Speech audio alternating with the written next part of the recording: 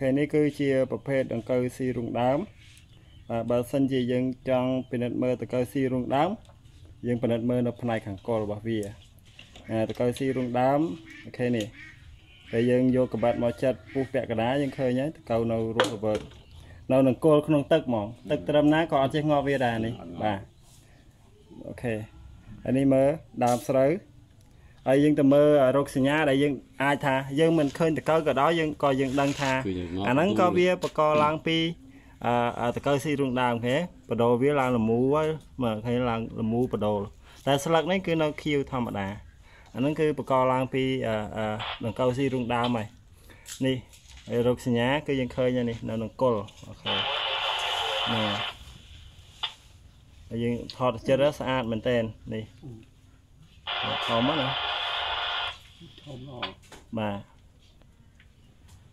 OK ឲ្យពណ៌លាយឲ្យបាទចង់បានស៊ុបភើអ៊ីមិចវានៅក្នុងបឹងគឺចឹងដែរមានអញ្ចឹងដែរ OK ចាំខ្ញុំឲ្យស៊ុបភើអ៊ីម៉ិចមកធុងដែរហ្នឹងហើយស៊ុបភើអ៊ីម៉ិចយើងអាចកំចាត់ដង្កូវស៊ីរូងដើមបាន OK តោះយើងទៅមើលការលាយថ្នាំទាំងអស់គ្នាឃើញស្មៅស្មៅអូស៊ីងផ្លាស់35ក្រាមមួយកញ្ចប់ OK ស៊ីងផ្លាស់ចំណុះ35ក្រាម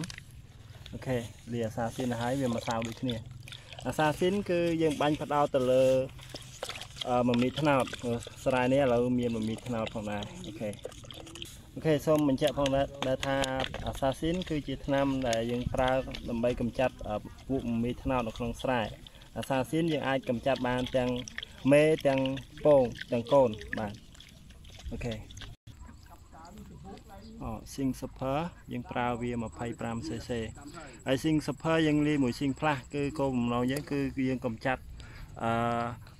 ព្យាបាលជំងឺ ដែលវាកើតឡើងធ្ងន់ធ្ងរដូចជាក្នុងស្រែនេះអញ្ចឹងស្រូវចាប់ផ្ដើមមកលួយគល់ហើយ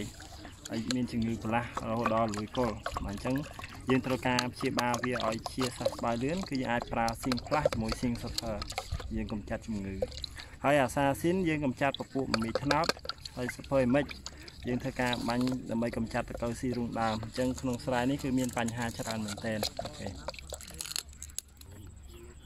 ញ្ចឹងស៊ុបភើអ៊ីម៉ិចយើងប្រើវា 20cc OK OK ការលាយថ្នាំ សំខាន់គឺយើងលាយក្នុងធុងតែមួយយើងកូរវាឲ្យលាយសិនហើយចំពោះវិធីសាស្ត្រដែលយើងការពារយើងត្រូវមានម៉ាស់មានស្រោមដៃមានស្បែកជើងកវែងដើម្បីយើងបាញ់នៅក្នុងស្រែខេ ឆ្នាំដែលយើងលាយក្នុងធុងគឺសំខាន់យើងអឺយើងដាក់ក្នុងទឹកហើយយើងកូរថែមទៀតពេលនេះគឺជាសកម្មភាពនៃការបាញ់ថ្នាំកំចាត់ជំងឺហើយនឹងកំចាត់ដង្កូវមមីថ្នោតក្នុងស្រែហើយយើងឃើញមានបញ្ហាជំងឺប្រឡាស់ហើយ តកៅស៊ីរុងដើមមានថ្នោតនៅក្នុងស្រែមួយនេះបាទ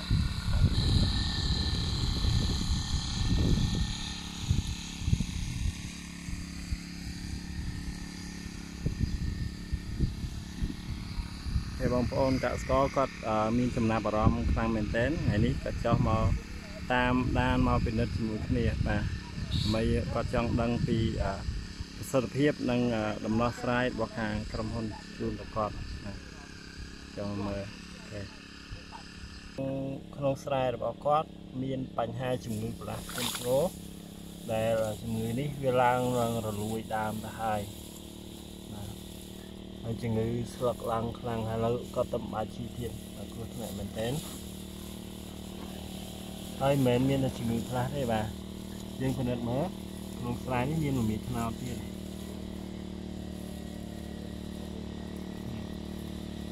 មានឆ្នោតតាមមាននេះ